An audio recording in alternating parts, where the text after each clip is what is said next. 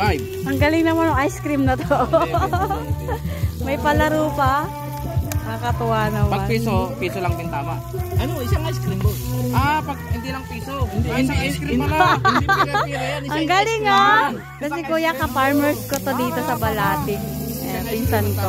Oh. Ang galing naman pag tumama ka, may isang ice cream ka, kahit piso lang yung taya mo. Oh, ang galing naman. Kakatawa naman minsan. 14. Siyete. Ayun, Oh, isa. shit. Ay, lalo ka ng ice. Congratulations! Kuya, parang lugi ka. Sortihan lang. Lang talaga. Oh, Sortihan lang lugi ka.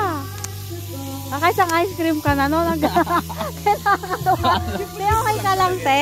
Nandito kami nagluluto, oh. Picnic-picnic kami dito. Tapos may mga nagbibidyo ka din sa loob. O, taya kayo sa no? Meron.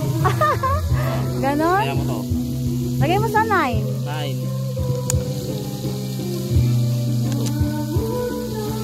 Yan lang natin kung tatama yan. Ay, 14 na naman. Ah, 40 na naman. Ang kulit eh. Ang saya ng ice cream mo, kuya. Babae na kasama, kasama-sama natin. Anong pangalan nun? Ah, si Ate Carol? Oo, meron kaya lang. Ano? Parang wala siya dyan.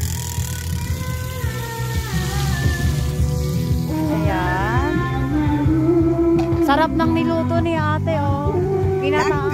Ano, lang Prito! Pritong galunggong. At ito, syempre, oh, alok pa. Yung mag-asawang yan. Masipag, grabe. Ang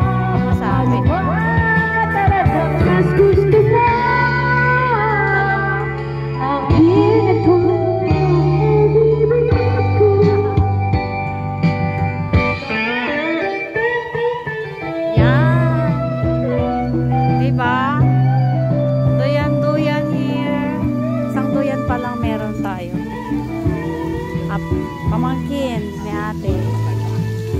Ano? Diba, Lisa, nanalo ka naman eh. Anong ice cream yun?